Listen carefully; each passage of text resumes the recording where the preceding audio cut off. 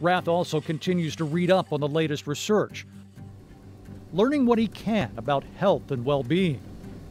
And every day, Rath tries to use what he's learned.